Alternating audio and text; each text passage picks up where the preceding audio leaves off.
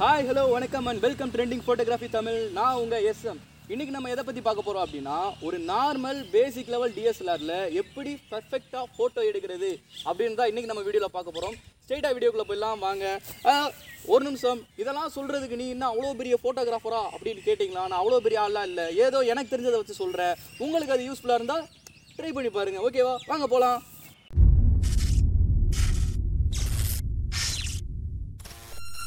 ஆரம்பிக்கலாங்களா?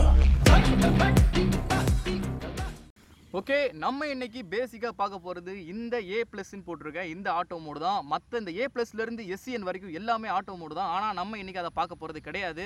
அதே மாதிரி இந்த எம்லேருந்து பி வரைக்கும் எல்லாமே மேனுவல் மோடு தான். இதில் கரெக்டான மேனுவல் மோடுனா அது எம் மட்டும்தான் ஏன்னா அதில் தான் நம்மளோட ஃபுல் கண்ட்ரோலுமே அதில் மட்டும்தான் இருக்கும். இந்த ஏவி பிவிலலாம் அப்பச்சல் அது அது மாறும். அது வந்து நம்ம அப்புறமா பார்த்துக்கலாம். இப்போ நம்ம வந்து ஆட்டோ மோடு தான் பார்க்க போகிறோம் ஓகே நம்ம ஃபஸ்ட்டு கிளாஸை என்ன பார்க்க போகிறோம் அப்படின்னா நீங்கள் கேமராவை இப்படி வச்சு எடுக்கிறீங்களா? இல்லை இப்படி வச்சு எடுக்கிறீங்களா? அப்படின்றத நீங்களே முடிவு பண்ணிக்கணும் நீங்கள் இப்படி வச்சு எடுக்கிறதுனாலும் சரி இல்லை இப்படி வச்சு எடுக்கிறதுனாலும் சரி இந்த டிஸ்ப்ளே இருக்குது பார்த்தீங்களா இந்த டிஸ்பிளேயில் நீங்கள் எடுக்கிற ஆப்ஜெக்ட் அதாவது அவங்க ஆளாகவும் இருக்கலாம் இல்லை ஒரு பொருளாகவும் இருக்கலாம் யாராக வேணாலும் இருக்கலாம்.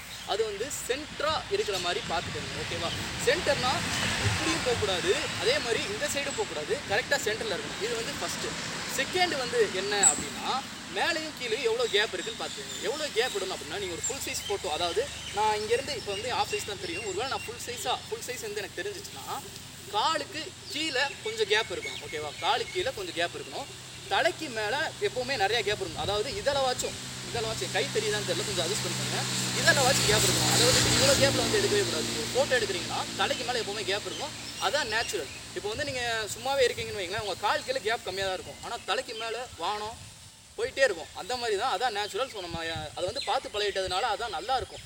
இது இதே இதில் ப்ரோ நான் ஆஃப் சைஸ் தான் ப்ரோ எடுக்கணும். அப்போ எப்படி எடுக்கணும் அப்படின்னு கேட்டிங்கன்னா அதுவும் சேம் அதே தான் அப்போ வந்து நீங்கள் கால்லாம் பார்க்க வேண்டியதில்லை. எடுக்கிறீங்க இதெல்லாம் ஃபோட்டோ எடுக்கிறீங்க அப்படின்னா தலைக்கு மேலே அதாவது இவ்வளோ கேப் இருந்தால் போதும். இப்போ நீங்கள் இதெல்லாம் ஃபோட்டோ எடுக்கிறீங்கன்னா தலைக்கு மேலே இவ்வளோ கேப் இருந்தாலே போதும். இதை வந்து ஃபஸ்ட்டு பார்த்துக்கோங்க.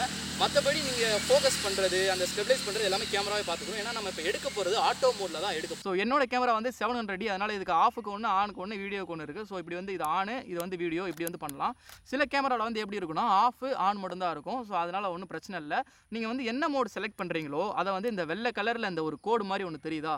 இந்த வெள்ளை கலர் கோடுக்கு நேராக அந்த மோடை வந்து நீங்கள் கரெக்டாக அப்படி வச்சிட்டிங்கனாலே போதும். வேறு ஒன்றும் இல்லை.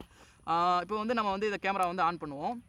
ஓகே இதில் வந்து நம்ம ஆட்டோ மோடு எப்படி போடுறது அப்படின்னு பார்த்தீங்கன்னா இந்த லென்ஸில் வந்து ஏஎஃப் எம்எஃப்னு இந்த இடத்துல எழுதியிருக்கு பார்த்தீங்களா எம்எஃப்னா மேனுவல் ஃபோக்கஸ் ஏஎஃப்னா ஆட்டோ ஃபோக்கஸ் ஸோ இதை வந்து நம்ம ஆட்டோ ஃபோக்கஸில் கொடுத்துடலாம் ஓகேவா அதே மாதிரி இங்கே வந்து ஸ்டெபிளைசர் இருக்குது இது நிறைய பேர் என்னன்னு கேட்க என்ன நினச்சிட்டு இருக்காங்க அப்படின்னா டிவியில் இருக்க ஸ்டெப்லைசர் மாதிரி இதுக்கும் கேமரா வந்து நம்ம ஃபோட்டோ வந்து டேரெக்டாக கேமராலேருந்து யூஎஸ்பி கனெக்ட் பண்ணி லேப்டாப்லையோ இல்லை சிஸ்டம்லையோ ஏற்றும் போது கேமரா வெடிக்காமல் இருக்கிறதுக்கு இந்த ஸ்டெபிளைசர் நினைக்கிறாங்க. பட் அப்படிலாம் கிடையாது. இது வந்து நம்ம வந்து தூரமாக இருக்க சப்ஜெக்டை வந்து நீங்கள் வந்து கரெக்டாக ஜூம் பண்ணுறீங்க கரெக்டாக போர்ட்ரேட் பண்ணுறீங்க அப்படின்னா இதை வந்து நீங்கள் ஆன்லேயே வச்சுக்கலாம். வந்து உங்களுக்கு வந்து பழக்கமாற வரைக்கும் ஆன்லேயே வச்சுக்கோங்க. சரி ஓகே இப்போ வந்து நம்ம வந்து கேமராவை ஆன் பண்ணியாச்சு. ஸோ ஆன் பண்ணோன்னே இந்த மாதிரி தான் வரும். இதை வந்து நம்ம என்ன பண்ணோம் அப்படின்னா உங்களுக்கு வந்து வியூ ஃபண்டில் பார்த்து எடுத்துக்கலாம் வியூ ஃபண்டில் பார்த்து எடுத்துக்கலாம் பட் நான் வந்து எனக்கு வந்து அந்த டேஸ்ட் வந்து பிடிக்காது. நம்மளுக்கு இதான் பிடிக்கும். இப்படி தான் வந்து நம்ம எடுப்போம். இன்றைக்கி நம்மளோட மாடல் யாருன்னு பார்த்தீங்கன்னா நம்மளோட நெருப்புக்குமார் தான். ஓகே இப்போ வந்து நான் வந்து அவருக்கு ஜூம் மட்டும் அட்ஜஸ்ட் பண்ணுறேன் அதாவது தலைக்கு மேலே கொஞ்சம் கேப் இருக்கிற மாதிரி ஜூம் அட்ஜஸ்ட் பண்ணுறேன் அதே மாதிரி சைடு வந்து அவர் அந்த பக்கம் இல்லாமல் இந்த சைடும் இல்லாமல் கரெக்டாக ஒரு சென்டரில் நான் ஃபஸ்ட்டு வச்சுக்கிறேன். நெக்ஸ்ட் வந்து நான் ஜூம் அட்ஜஸ்ட் பண்ணுறேன் அதாவது அவர் தலைக்கு மேலே கேப் இருக்கிற மாதிரி. நான் வந்து ஜூ ஜூம் வந்து அட்ஜஸ்ட் பண்ணியாச்சு.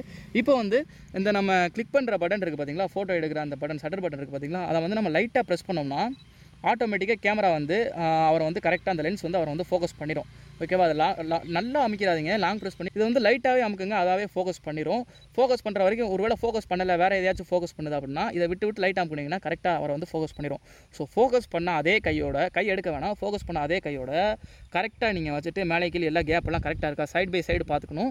செகண்ட் வந்து மேலேயும் கீழேயும் வந்து பார்த்துக்கணும். இப்போ வந்து நம்ம ஆஃப் சைஸ் ஃபோட்டோ எடுக்கிறதுனால கால் வந்து தெரியணுன்ற அவசியம் இல்லை. ஆஃப் சைஸ் தெரிஞ்சாலே போதும். பட் தலைக்கு மேலே கொஞ்சம் கேப் இருக்கணும். இதை மட்டும் பார்த்துட்டு இப்போ வந்து அவருக்கு மூஞ்சிக்கு நேரம் அந்த நம்மளோட கட்டை இருக்குது அப்படின்றத பார்த்துக்கணும். ஸோ என்னோட வந்து ஃபோக்கஸ் ஆயிடுச்சு அப்படின்றத காட்டுறதுக்கு பச்சை கலரில் இருக்குது உங்களோட எந்த கலரில் இருக்கும் அப்படின்றத நீங்கள் பார்த்துக்கோங்க. ஓகே இப்போ நம்ம வந்து அந்த கையை எடுக்கவே இல்லை.